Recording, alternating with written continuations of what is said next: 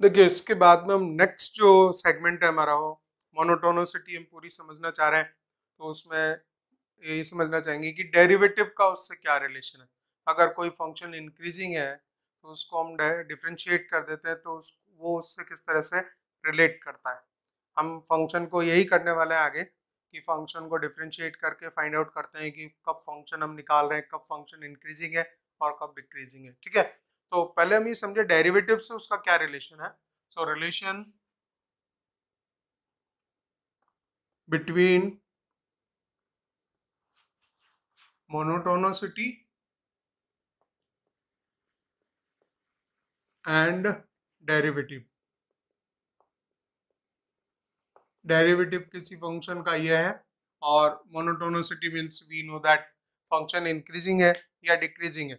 तो वो दोनों आपस में किस तरह से रिलेट करते हैं, उसके बीच में क्या रिलेशन होता है, वो देखिए किस तरह से होगा कि अगर हम देखें फ़र्स्ट क्वाड्रेंट और सेकंड क्वाड्रेंट को देखिए आप, y equals to function F X given होता है, ठीक है? तो जैसे ही हमने फ़ंक्शन का डेरिवेटिव किया डी बाई डी एक्स किया तो this give the F dash X और ये देता है tan theta and tan theta means a slope of tangent line.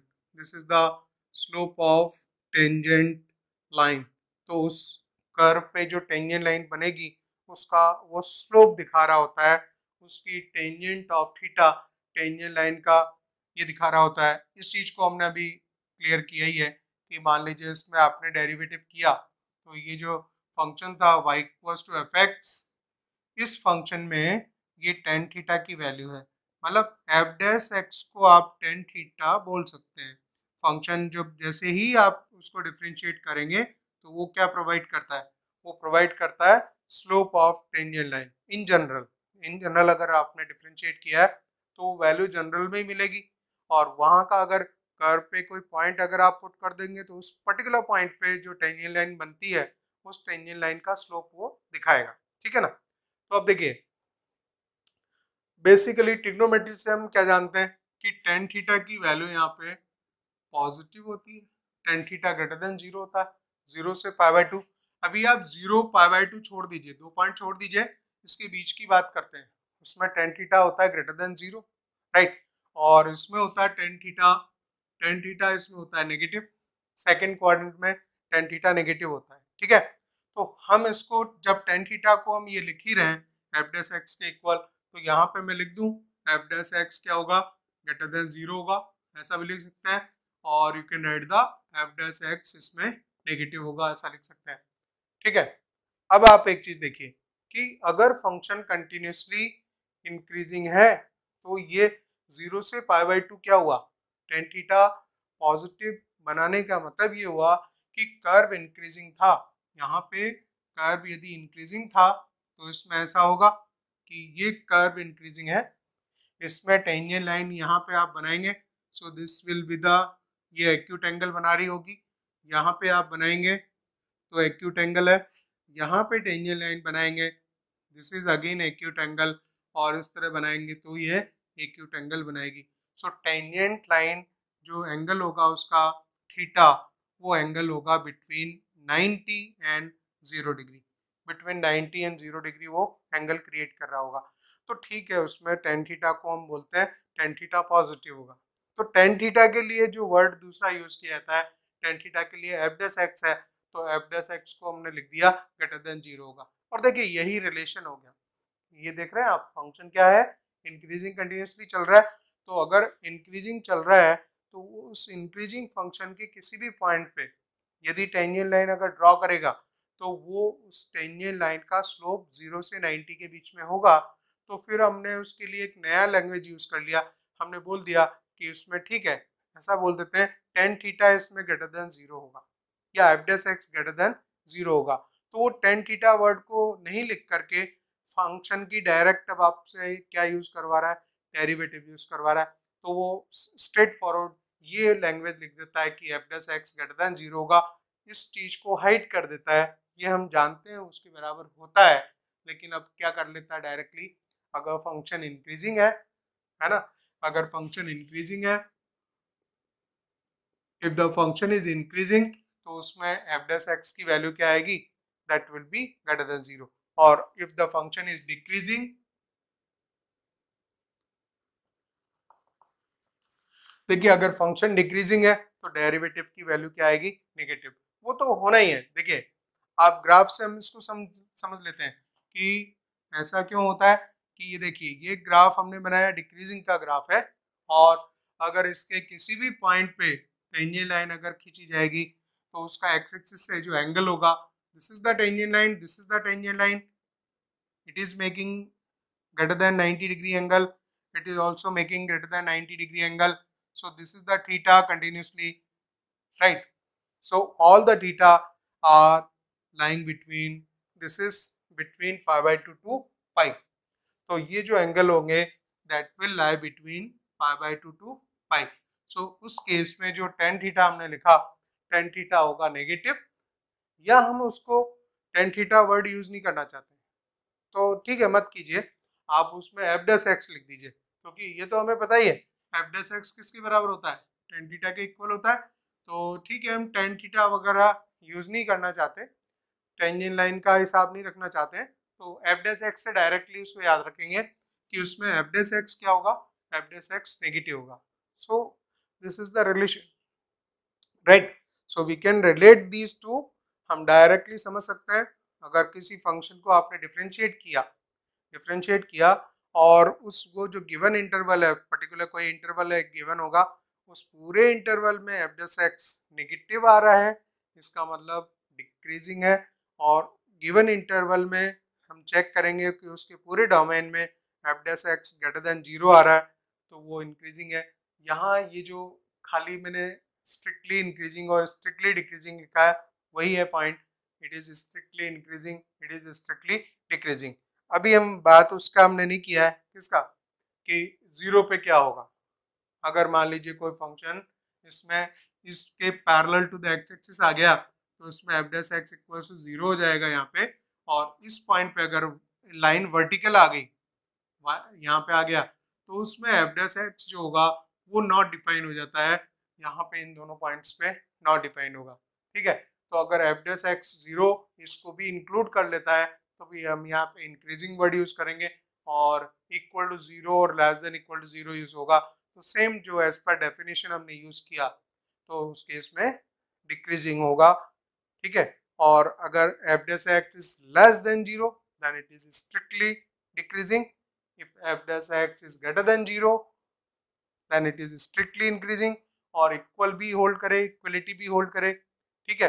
ये भी हम बात को समझेंगे कि इक्वलिटी डिस्क्रिट पॉइंट्स पे होल्ड कर रही है या वो कंटिन्यूसली कंटिन्यूस डोमेन में उसमें दिया हुआ फ़ंक्शन है तो उसमें वो होल्ड कर रही है। तो वहाँ पे भी फ़र्क आता है, उसको मैं पूरे ग्राफ से आपको बताऊँगा।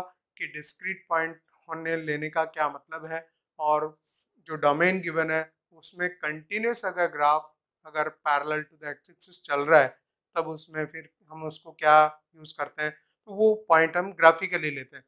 देखिए, ये बहुत क्लियर होना चाहिए आपको कि ये it's a relation between monotonicity increasing decreasing को हमने उसके डेरिवेटिव से रिलेट कर दिया और ये आपस में दोनों का रिलेशन आ गया।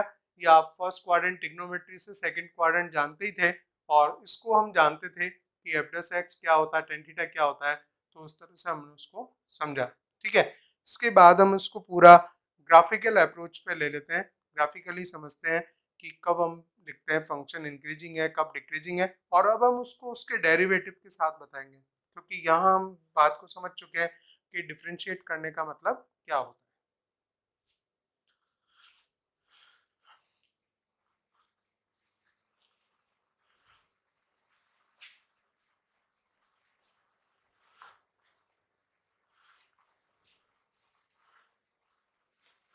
तो देखिए, सारी बात को जो हम ग्राफिकली ले रहे हैं ग्राफिकली इस पॉइंट को समझ रहे हैं ग्राफिकली मोनोटोनिक फ़ंक्शन को मोनोटोनोसिटी को हम समझ रहे हैं ग्राफिकली इसमें क्या क्या कंडीशन हो सकती है। देखिए, इस तरह से यदि ऐसा आ जाए, मान लीजिए फ़ंक्शन की ये कंडीशन आ जाए कि ग्राफ ऐसा हो कि इस तरह से चले इंक्रीज करे और पूरा ग्राफ ऐसा हो कि खाली ये जो है कंटिन्यूसली इंक्रीज ऐसा कर रहा हो ये कॉन्केविटी चेंज कर रहा है, उनसे फ़र्क नहीं पड़ता है ग्राफ में। ये खाली इंक्रीज कर रहा है डिक्रीज कर रहा है, ठीक है?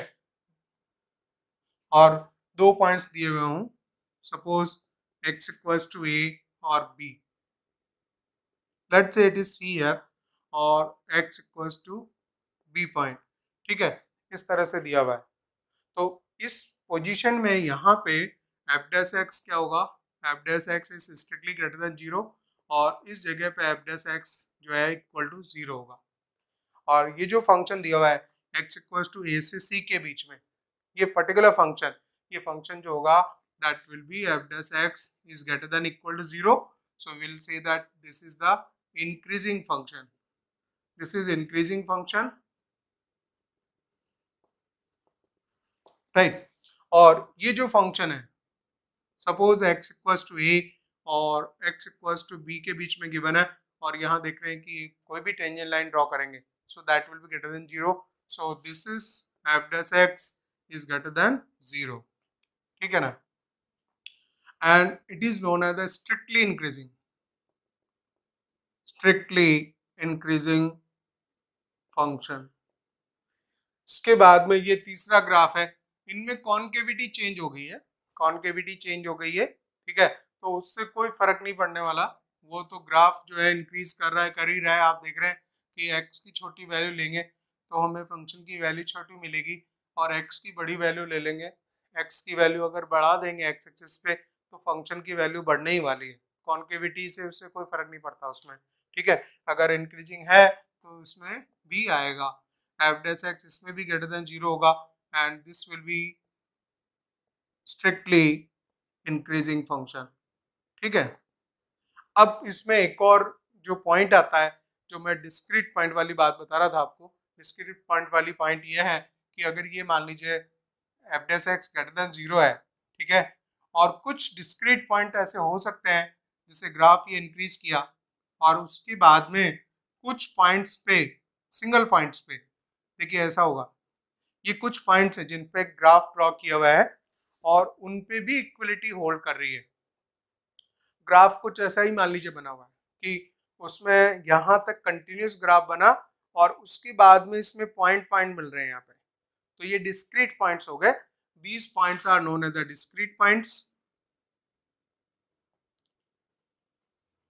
discrete points means uh, कुछ अलग अलग सिंगल सिंगल पॉइंट है जो कि एक्स एक्सिस के पैरेलल चल रहे हैं सपोज़ ठीक है?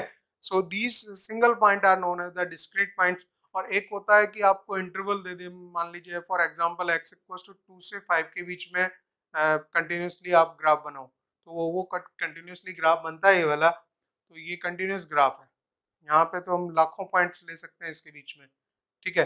लेकिन अगर डिस्क्रीट पॉइंट है तो वो सिंगल पॉइंट पे ही सारा उसका डिस्कशन करना होता है। ठीक है ना? So this is also f dash x is greater than equal to zero लिखेंगे यहाँ पे, क्योंकि इन पॉइंट्स पे इक्वलिटी होल्ड कर रही है। If f dash x f dash x is greater than equal to zero where एक लैंग्वेज ये इंपॉर्टेंट पॉइंट है, ये हमेशा ध्यान रखना होता है, ये जो बात लिख रहा हूँ मैं, कि if f dash x is greater than equal to zero where equality holds at uh, discrete points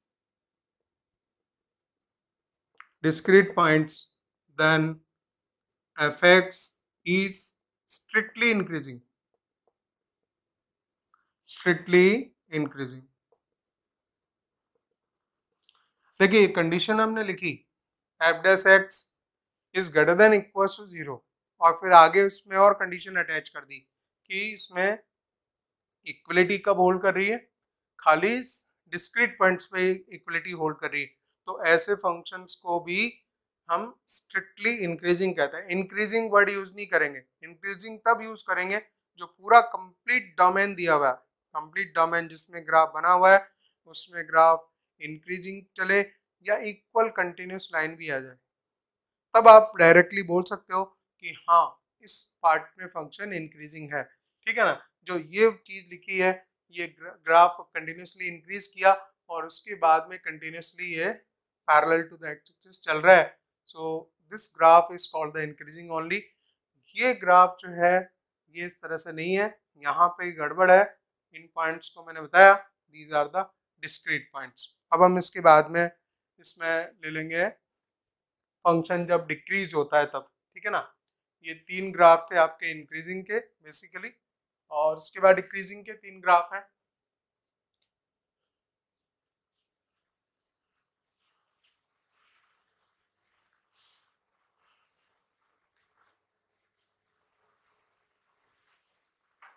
देखिए, वो तीन ग्राफ इस तरह से आएँगे।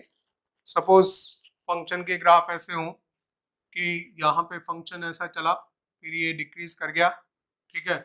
या फ़ंक्शन ऐसा है कि ये कंटिन्यूसली जो इस तरह से डिक्रीज कर रहा है, इस तरफ़ से, या ऐसा भी ले सकते हैं, उसमें कोई फ़र्क नहीं पड़ता है।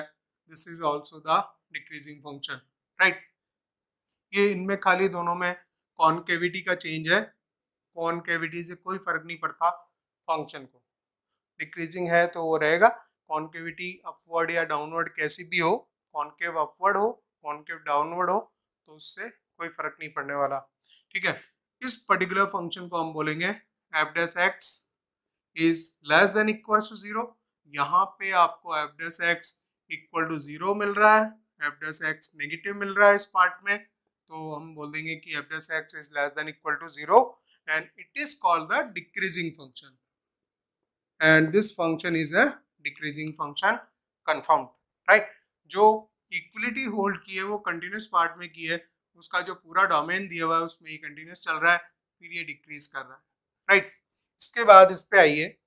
इस पर्टिकुलर फ़ंक्शन में एफ़ डस एक्स जो है खाली डिक्रीज कर रहा है। तो this is called the strictly strictly decreasing function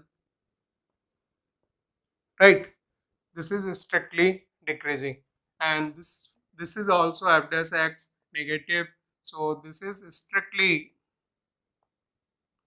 strictly decreasing function. Is also a strictly decreasing function. इस तरह से होगा। हाँ अब यहाँ पे वो भी बात करनी है हमें कि हम जो डिस्क्रीट पॉइंट्स पे इक्वलिटी अगर होल्ड करता फ़ंक्शन और उस केस में हम क्या बोलते हैं? तो यहाँ पे ऐसा हो सकता है कि कोई फ़ंक्शन ऐसा हो, ठीक है? ये एक इंपॉर्टेंट केस हमेशा बनता है, ध्यान रखेंगे कि यहाँ कुछ पॉइंट्स ऐसे हैं जिन पे कि वो स्ट्रेट जा रहा है, ठीक है? उसके बाद वो कंटिन्यूसली डाउन होना स्टार्ट हुआ। ठीक है? तो दोनों कंडीशन बना रहा है इसमें। ये डिस्क्रीट पॉइंट्स हैं, ठीक है? सो f dash x is less than equal to zero और बोलेंगे equality holds at discrete points discrete points so f x is strictly strictly decreasing this in ये कंडीशन में इसको बोलेंगे, ये स्ट्रिक्टली डिक्रीजिंग है। रीजन क्या है कि ये कंटिन्यूसली पूरे डोमेन में कंटिन्यूस ग्राफ नहीं चला रहा है कुछ पॉइंट्स पे। यही पॉइंट्स होते हैं। इन्हीं को डिस्क्रीट पॉइंट्स बोलते हैं। डिस्क्रीट पॉइंट्स मतलब कहने का मतलब x equal to some point होगा, फिर उसके बाद अगला पॉइंट दूसरा लिया इसने, फिर नेक्स्ट टू नेक्स्ट इस तरह से लिया। उस लाइन को कंटिन्यूस नहीं चलाया। कंटिन्यूस डोमेन में वो डिफाइंड नहीं है, जहाँ पे वो इक्वलिटी होल्ड करता हो तो ये पर्टिकुलर फ़ंक्शन जो होगा, उसको हम काउंट करेंगे स्ट्रिक्टली डिक्रीजिंग में। न कि डिक्रीजिंग में? जबकि यहाँ कंडीशन इसने दिखाई इस तरह से तो हमेशा हमें डिस्क्रीट पॉइंट्स को उसमें देखना पड़ता है। अब इसके बाद में हम एक और लेंगे ग्राफिकल अप्रोच जब फ़ंक्शन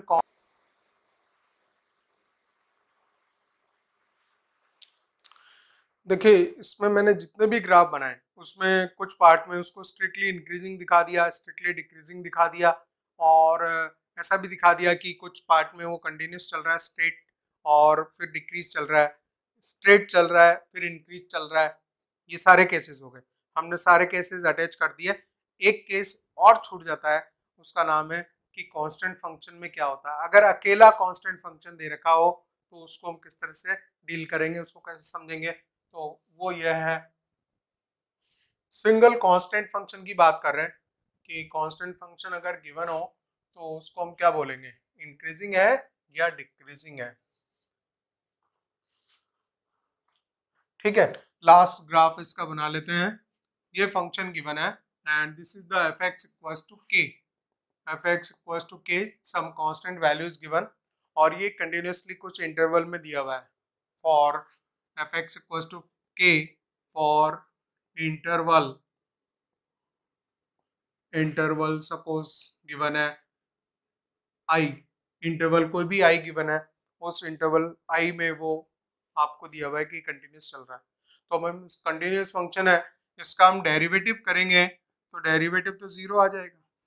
डेरिवेटिव ज़ीरो आ जाएगा, ठीक है? तो इट इज़ कंसिडर्ड सपोज़ ऐसे केस में हम क्या बोले?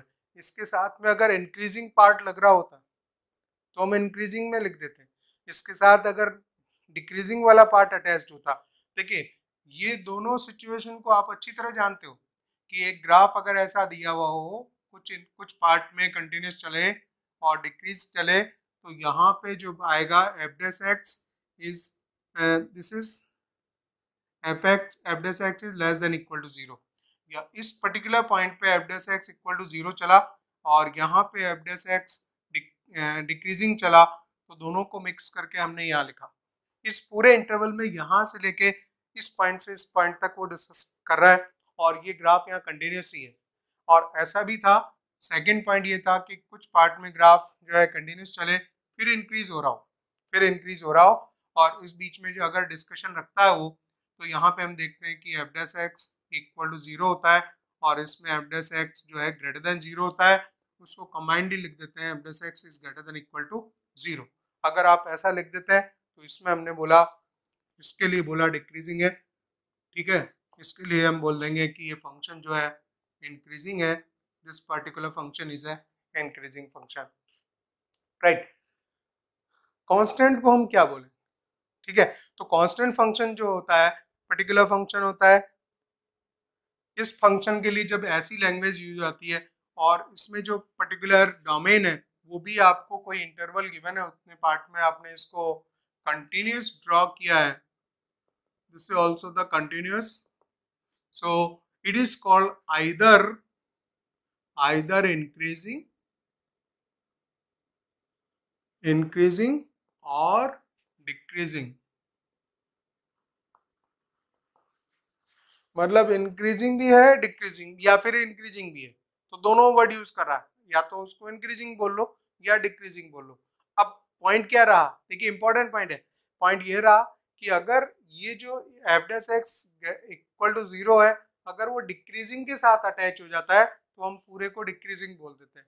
अगर f dash x equal to zero increasing के साथ अटैच हो जाता है तो हम पूरे को इंक्रीजिंग बोल देते हैं। और अकेला आ जाए तो अकेला आ जाए तो हम ऐसा बोलेंगे एफ़ डैश एक्स निकाला f dash x equals to यहाँ पे डेफिनेटली ज़ीरो आएगा। कांस्टेंट फ़ंक्शन है तो this line will be the because the line is parallel to the x axis so उसका एफ़ डैश एक्स निकालोगे तो डेफिनेटली ज़ीरो होने वाला है, ठीक है? तो उसके लिए हम क्या बोले? तो उसके लिए हम बोलेंगे इट इज़ आइदर इंक्रीजिंग और इट इज़ डिक्रीजिंग मतलब वो इंक्रीजिंग भी हो सकता है, या फिर डिक्रीजिंग भी हो सकता है, दोनों हो सकता है और या तो उसको इंक्रीजिंग में काउंट करो, या फिर उसको डिक्रीजिंग में काउंट करो। और वर्ड लगा देंगे बीच में।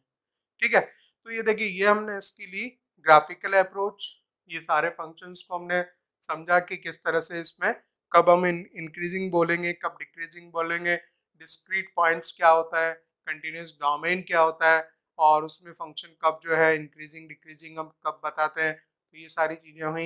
इसके बाद में हमें देखने वाले हैं test of monotonicity how to find where the function is increasing and decreasing so जो डेरिवेटिव टेस्ट होता है इसका, उसके बाद, इसके बाद में मैं वही लेने वाला हूँ टेस्ट ऑफ़ मोनोटोनिसिटी